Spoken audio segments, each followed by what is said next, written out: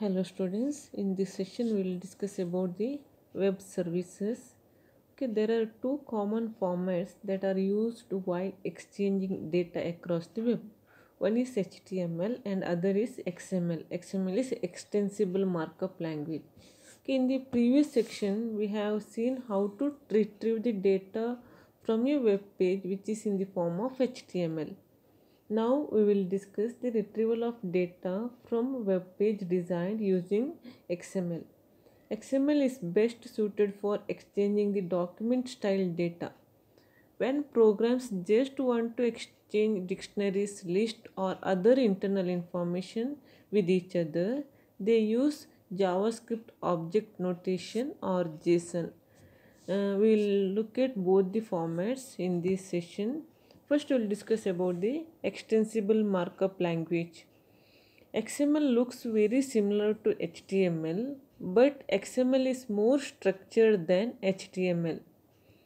Okay, that means in HTML we have to use the predefined tags, but in XML you can use your own tags. Okay, for example, we have this sample document here, XML document person. Okay, this uh, code or this xml document that related to one person. Okay that particular person is having the name then phone number again email id so here in this xml document you can use your own tag to represent that particular data. We can think of an xml document as a tree structure where there is a top tag person other tags such as name, phone or email uh, are drawn as children of their parent. Okay, parent that is the root node and we have the subnodes or children that is name, phone and email ID. Now uh, in this figure it shows the tree structure uh, for the uh, given code previous document. Okay, here person that is that will be under the root node. Again we have uh, three children there is name phone again this is email. Under that name we have the data check again under phone we have the attribute type equal to intel. Again under email we have the attribute height again value of that attribute that is yes okay that we can represent using the tree structure. Under name we have the data check again under phone we have the attribute type. Again value of that attribute that is intl uh, again uh, phone number. Under phone email we have the attribute height. Again value that is yes. Okay, now how we can parse the data uh, parse xml document?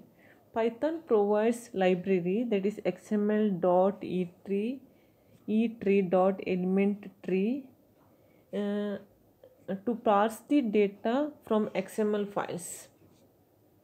One has to provide xml code as a string to built-in method from string that is from string of element class. Okay this particular method from string that is present inside the class that is element tree class Okay, now here element tree act as a parser and provides a set of relevant methods to extract the data. Hence, the programmer need not know the rules and the format of XML nodes. When the XML is in a tree format, Python provides several methods to extract the data from XML. Consider this program. Here, when we call uh, from string method, it converts the string representation of XML into tree of XML. Uh, now, um, when the XML is a tree, we have a series of methods we can call to extract the portion of the data from the XML. The find method, here we have the find method. Okay, it searches through the XML tree and retrieves a node that matches the specified tag each node can have some text some attributes and some child nodes. Okay here we have the find method. Um, again we have the tag name. Under that name tag we have some text data. Okay that find method it will just retrieve that data. Again under email tag we have the uh, attribute height and this find method it will uh, access that attribute and value of that attribute. Uh, looping through nodes most of the times xml documents are hierarchical and contain multiple nodes to process all the nodes we need to loop through all those nodes okay consider this program. Here we have the from string method uh, which converts the string representation of XML into uh, in a tree of XML format. And again here we have the find all method. Okay this method retrieves a python list of subtrees that represent the user structure in the XML tree. Okay, here we have the XML document and root node that is stuff. Under that root node we have the subtree that is users okay again under user that is this xml document that contains the information related to the different users. Under user subtree again we have the child nodes that is user uh, user x equal to 2 and id of that user that is 001 name that is check. Again uh, one more user x equal to 7 id that is 009 and name that is Brent. Okay, under users subtree we have two subnodes. That is user with attribute value x equal to 2 again user attribute value x equal to 7 again under that we have two child node id name related to the uh, user 2 again id name related to the user 7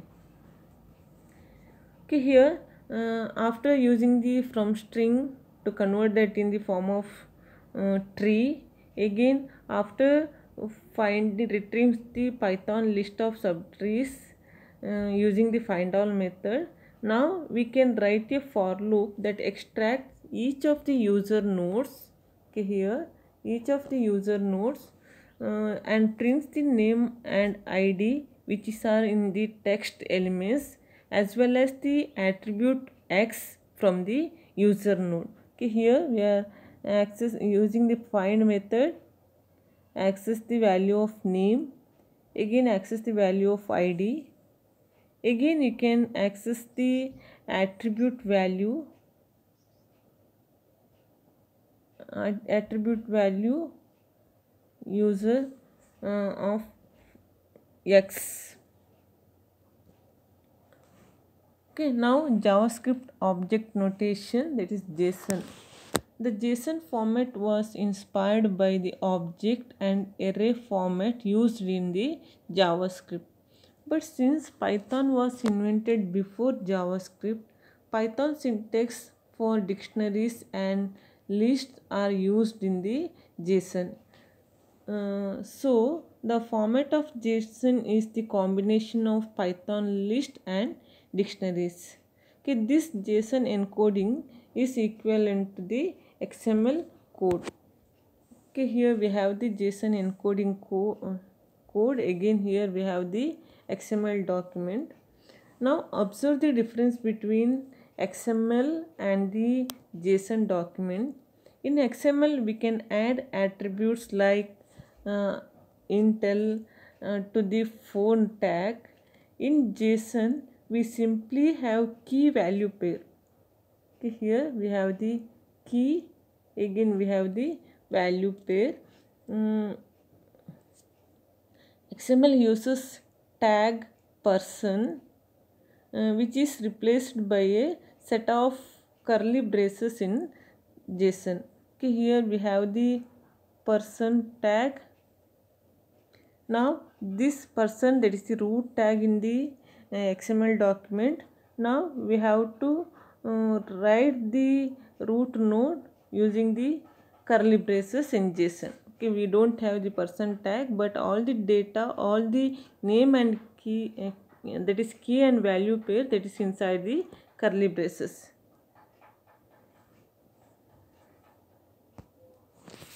Okay, now how we can uh, parse the JSON. Okay, in general here JSON structure are simpler than XML because JSON has fewer capabilities than XML. But JSON has the advantages that it maps directly to some combination of dictionaries and lists. And since nearly all programming languages have something equivalent to the Python's dictionaries and list, JSON is a very natural format to have two compatible programs exchange data. JSON is quickly becoming the format of choice for nearly all data exchange between the applications because of its relatively relative simplicity compared to XML. Here parsing JSON. Python provides a module JSON to parse the data in JSON pages. Consider the program which uses JSON equivalent of XML string written in the previous section. Note that the JSON string has to embed a list of dictionaries. Here uh, data that is the dictionary data contains a list of users where each user is a key value pair. The method loads uh, in the json module converts the string into list dictionaries. Mm, now onwards we do not need to anything from json because the parsed data is available in python native structure. Uh, Using a for loop, we can iterate through the list of dictionaries and extract every element as if it is a dictionary object. That is, we use index operator to extract value for a particular key. Okay, this is output of that program. Okay, here we are printing the user count that is 2 name uh, check id and that is 001 again attribute value that is 2 information related to the first user. Again information related to the second user name id and attribute value. Now current id it industry uh, is to use JSON for web services rather than XML because JSON is simpler than XML and it directly maps to native data structure. We already have in the programming languages. This makes parsing and data extraction simpler compared to XML. But XML is more self-descriptive than JSON and so there are some applications where XML retains an advantage. For example, most word processors store documents internally using XML rather than JSON. Okay, next we will discuss about the application programming interface. Till now we have discussed how to exchange data between applications using HTTP, XML and JSON. The next step is to understand API that is application programming interface defines documents that contracts between the applications. When we use an API, generally one program makes a set of services available for use by other applications and publishes the APIs that must be followed to access the services provided by the program when we begin to build our program where the functionality of our program include access to service services provided by other programs we call approach a service oriented architecture for example um, the SOA that is service oriented architecture approach is one where our overall application make use of the services of other applications. The non-SOA approach is where the application is a single standalone application which contains all of the code necessary to implement the application. Consider an example of SOA. Through a single website, we can book flight tickets and hotels. The data related to the hotel is not stored in the airline servers. Instead, airline servers contact the services on the hotel server and retrieve the data from there and present it to the user. When user agrees to make a hotel reservation using the airline site, the airline site uses another web services on the hotel systems to actually make reservation. Similarly, uh, to reach airport, we may book a cab through a cab rental services. And when it comes time to charge your credit card for the whole transaction, still other computers become involved in the process. Now, SOA has some advantages. We always maintain only one copy of data. The owners of the data can set the rules about the use of their data. With these advantages, SOA system must be carefully designed to have a good performance and meet the user's need. Next, uh, one example Google geocoding web service. Google has a very good web service which allows anybody to use their large database of geographic information. We can submit any geographic search string.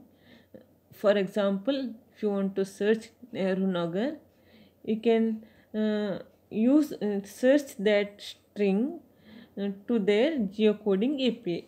Then the Google returns the location details of the string submitted. This program asks the user, okay, we'll discuss one program. This program asks the user to provide the name of the location to be searched for. Then it will call Google Geocoding API and extract the information from the uh, returned JSON. This program retrieves the search string and then encodes it. This encoded string along with the Google, Google API link is treated as a URL to fetch the data from the internet. The data retrieved from the internet will be now passed to the JSON to put it in JSON object format.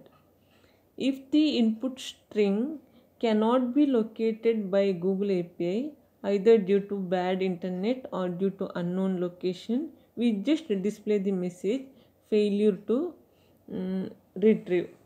If the google successfully identifies the location then we will dump that data in json object. Then using indexing on json we can retrieve the location address longitude and latitude etc Security and API usages. Public API can be used by anyone without any problem. But if the API is set, set up by some private vendors, then one must have API key to use that API. If API key is available, then it can be included as a part of post method or as a parameter on URL while calling API. Sometimes vendor wants more security and expects the user to provide cryptographically signed message using shared keys and secrets. The most common protocol used in the internet for signing request is OAuth that is O A U T H as the Twitter API become increasingly valuable, Twitter went from an open public API to uh, to an API that required the use of OAuth signatures, that is owner authorized on each API request. There are number of convenient free OAuth libraries, so you can avoid writing an OAuth implementation from scratch by reading specifications. Thank you.